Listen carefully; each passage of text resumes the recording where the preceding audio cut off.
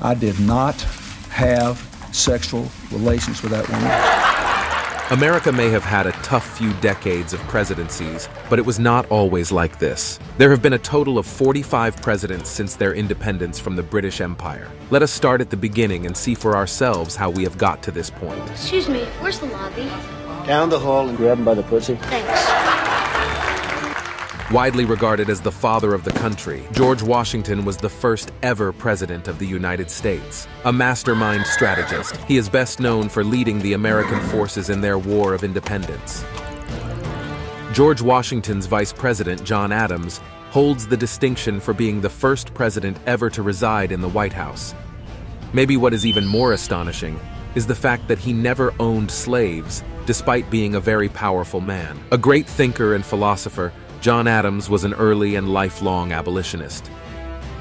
Thomas Jefferson, on the other hand, owned a staggering 600 slaves during his lifetime. This was the same man who wrote the Declaration of Independence, which funnily states that all men are created equal. A nutty coincidence is that Thomas Jefferson and John Adams both died on the same day, their 50-year Declaration of Independence anniversary. James Madison was America's smallest president ever, standing at 5 feet 4 inches and weighing a whopping 45 kilograms. He was president during the War of 1812, where British forces captured Washington and burned the White House and the Capitol. It would be the last time a major U.S. city is ever captured by enemy forces. James Monroe is famous for his doctrine which forbids Europe from interfering in all American politics, including South American countries. The destined protectors of the two continents have mainly used the doctrine to further its own interests. It has been invoked to justify military interventions in Latin American countries, such as Panama, Cuba, and Venezuela. President John Quincy Adams was the first for many things. He was the first son of a U.S. president to be elected himself, the first U.S. president to be photographed, and he was also the first president to be inaugurated wearing trousers instead of knee breeches, setting a new fashion trend for the masses. Andrew Jackson was the first president to be elected from the Democratic Party. He was an avid duelist and participated in many thrilling duels throughout his life. Jackson is best known for the Indian Removal Act of 1830, which led to the forced migration and ethnic cleansing of many Native Americans. Martin Van Buren was the first president to be born after America's independence. He was known for his political skills and was often referred to as the Little Magician because of his ability to manipulate and organize political factions. When William Henry Harrison took office, he delivered quite possibly the longest inaugural address ever on record. This was despite the bitterly cold weather and the freezing rain. Shortly after his inauguration, William developed symptoms of pneumonia and died just 32 days after taking office, making his presidency the shortest ever in U.S. history. The presidency of John Tyler is held with very low esteem among historians. He clashed with his own party, the conservative Whigs, after becoming president. The party eventually expelled him, which caused many conflicts and strained relationships during his service. He did, however, father a staggering 15 children, which is to no surprise more than any other U.S. president in history. James K. Polk was a boring president. I mean to the point where he banned liquor from the White House and started working 12-hour shifts. He was straight-laced, somber, and humorless. He did, however, increase U.S. territory by provoking Mexico into a war and taking one-third of its land. Zachary Taylor was a general and a national hero. He served in the U.S. military for 40 years before becoming president. This did mean he had very little political experience and thus faced many challenges navigating politics. He served for only 16 months before dying from a stomach flu. Millard Fillmore demonstrated that through some competence, even an uninspiring man could make the American dream come true. That is exactly how the White House's official website describes Fillmore. To be honest, the only thing he is known for is marrying his school teacher who he fell in love with. At the age of 12, Franklin Pierce orchestrated a daring escape from his boarding school, embarking on a courageous 20-kilometer trek back to his parents. However, upon reaching home, his father forced him to walk right back in the middle of a thunderstorm. According to Franklin, that was a turning point for his childhood and future career. A bachelor for life, James Buchanan is the only president to have never married. He had previously been engaged to a woman named Ann Coleman, but soon after she called off the wedding over a fight involving other women Mr. James was seeing. She died later that year in what some have ruled as suicide. Historians have described the last few presidents as least memorable, but definitely not this man. His enduring legacy is primarily rooted in his monumental efforts to abolish slavery. Unfortunately, Lincoln's presidency was cut short when he became the first president to be assassinated. He was the first Republican president ever, and still remains the tallest president ever at 6 foot 4 inches.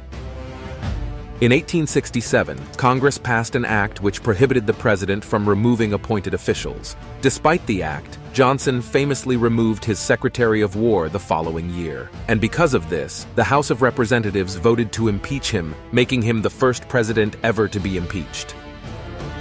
Ulysses S. Grant's most notable achievement was his determined efforts to suppress the Ku Klux Klan. In 1871, he signed the Enforcement Act, an act which granted the federal government authority to declare martial law and prosecute involved criminals.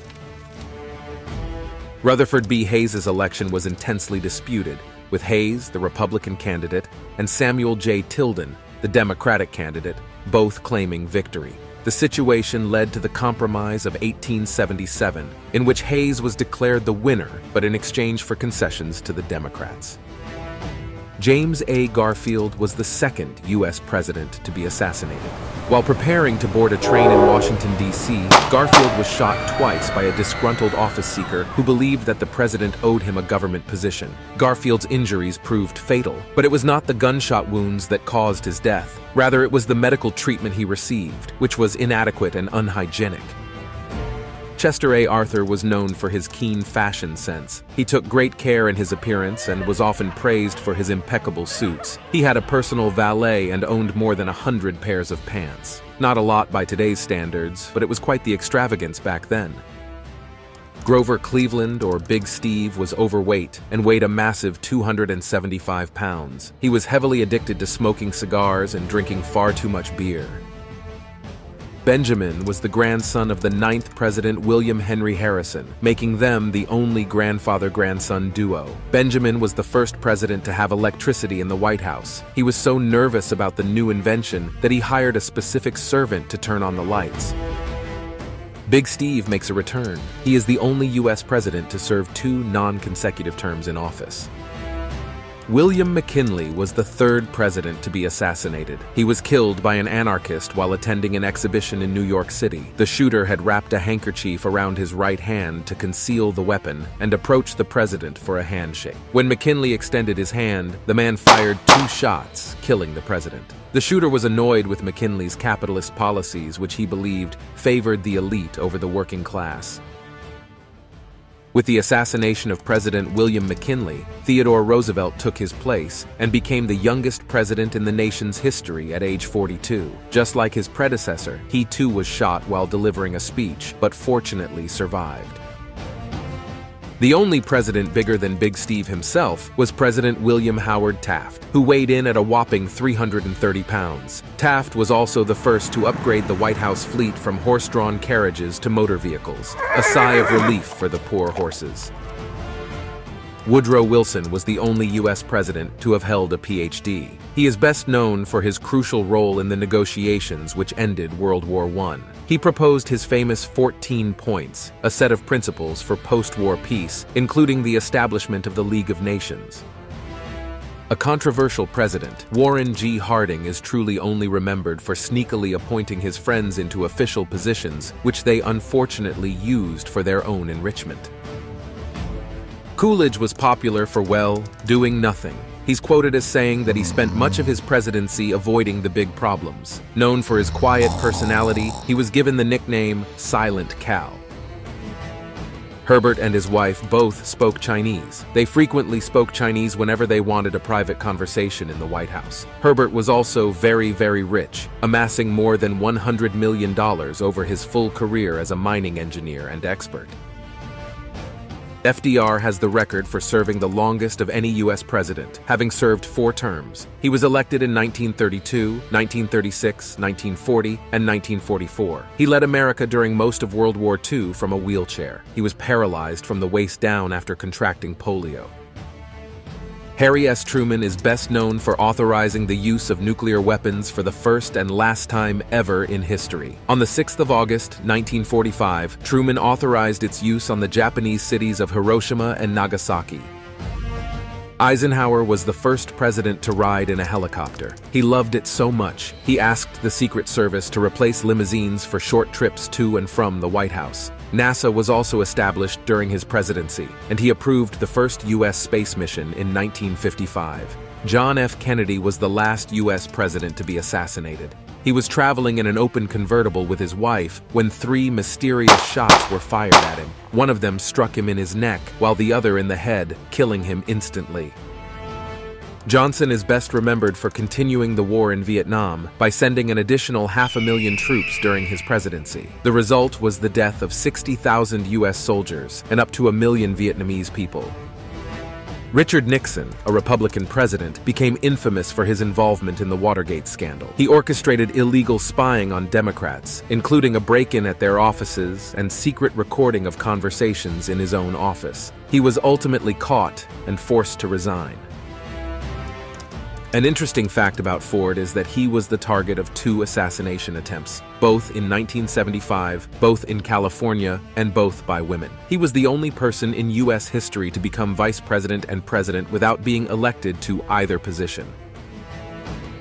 Carter's presidency was marked by escalating economic problems. Inflation and unemployment rose dramatically while gas prices skyrocketed. It got so bad, at one point people started lining up for hours just to get gas for their cars. Ronald Reagan was a Hollywood actor before he ever became a politician. He appeared in a total of 53 movies over a 30-year career as an actor. He was also very famous for decreasing taxes for high-income individuals. George Bush was a man of many, many achievements. Besides his presidency, he was one of the youngest pilots ever in the U.S. Navy. He also ran a very successful oil business. He was an ambassador to the United Nations and even the director of the CIA at one point. Bill? I did not have sexual relations with that woman. Did you know he was talking about his wife in that video? The younger Bush is known for two things Afghanistan and Iraq. Historians say his legacy is still being determined, but the masses say he exploited both nations for U.S. self interest. What do you think? The first African American president of the United States, Obama is best known for killing bin Laden and dumping him in the ocean. He is also remembered for his charismatic speeches. Donald Trump is known for far too many things, but what stands out the most to us is his knowledge of the financial system. He might have the record for the most bankruptcies and unpaid debts in U.S. history. Joe Biden, well, he loves chocolate chip ice cream, that is for sure.